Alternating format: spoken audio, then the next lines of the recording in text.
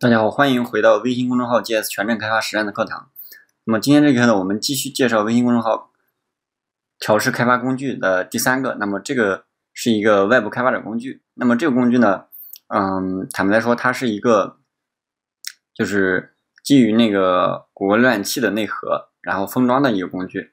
那么等一会儿大家打开它的界面，就下载之后安装它的界面，就容易知道了。那么用这个工具的话，可以调，就是在你的这个。嗯，PC 上直接调试这个微信内嵌网页的一些，比如说是 JS API，然后就各种 SDK 权限的问题，然后还有这个进行谷歌浏览器类似的那种调试，然后比如说代码断点等等。那么这里的内容呢，包括两点，一个是这个啊微信外部开发者工具的安装和配置，另外一个是它的功能简介。好，那么接下来就进入实际演示的阶段。那么要拿到这个呃。微信公众账号的这个外部开发者工具呢，我们需要这个登录到这个微信公众平台的后台，然后呢，啊，在这个开发者工具里面，就是开发下面有一个开发者工具，然后这儿有一项外部开发者工具，那么点击进入，那么就可以就直接打开这个外部开发者工具专门的这个页面。那么这个页面呢，它这里面就是大家注意看，它这有一个功能介绍，有一个开发者微信号。那么功能介绍呢，就是说外部开发者工具是干嘛用的？它是微信公众平台为开发者提供的这个用于帮助开发基于微信的网页或者 Web App，它是一个桌面的应用，可以通过模型模拟微信客户端的表现，使开发者可以在这个用这个工具在很方便的在 PC 和 Mac 上进行开发和调试。那么它的这个啊详详细的文档呢，可以点开这个链接。那么我们点开它，那么这里面能看到这个它的这个下载地址。好，那么。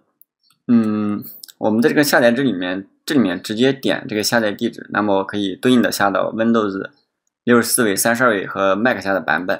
那么为了节省时间呢，在课程的开头我已经在本地下了，就是在 Mac 下面下载了这个微信的外部开发者工具的零点七点零版本。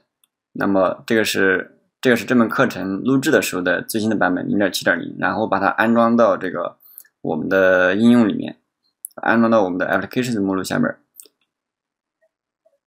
那么安装的方式在这里面就不跟大家介绍了。那么你打开开发，打开这个呃外部开微信外部开发者工具之后，你是很容易看到这里面这个界面就是一个啊移动的浏览器。那么点这儿的话，能看到什么发送给好友这些内容。那么刚才一进来是它是有一个登录的界面。那么这个是干什么用的呢？那么我们接下来会介绍。那么再回到这个啊外部开发者工具的这个下面，第二点就是它有它在这个第二块这有开发者微信号，那么这个是相当于是你需要对于你每一个微信公众账号，你需要绑定这个嗯几个开发者的账号，那么最多可以绑定同一个微信公众账号可以最多可以绑定十个，那么比如是啊。这个绑定的流程是什么样子呢？在稍等一下。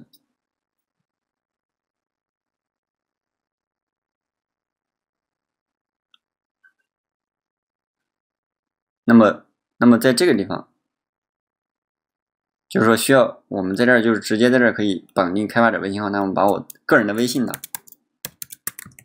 直接添加到这里。啊，那么我们它会提示，请输入需要绑定的开发者微信号，然后说该微信用户未关注当前公众号，请先关注之后再绑定。那么我们先搜一下这个公众账号，我们打开微信，然后添加添加公众账号的流程大家应该清楚。那么点加号，然后添加朋友，搜这个我们的公众账号叫嗯 JS。全站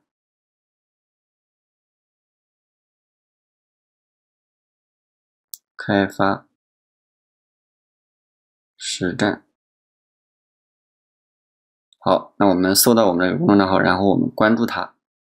好，那么关注它之后，把它作为置顶。好，那么接下来呢，我们就啊来这里重新搜一下我这个个人账号，然后呢。邀请绑定，好，那么接下来呢，我们可以看到在微信上收到了一条消息。那我们打开这个消息是公众号开发者微信号绑定邀请。那我们点开这个消息的内容，然后点同意操作。好，那么我们这个微信号就相当于在这个我们的这个外部开发者工具，就是我这个微信号在外部开发者工具上跟我的这个公众账号已经绑定了。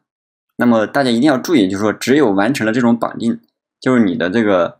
啊，微信号关注了这个公众账号，并且啊，在外部开发者工具里面绑定了这种关系，那么你才能这个在你的这个本地的外部开发者工具里面调试你对应这个公众账号的 GSSDK 的权，就是它的 API 还有权限列表等等这些内容。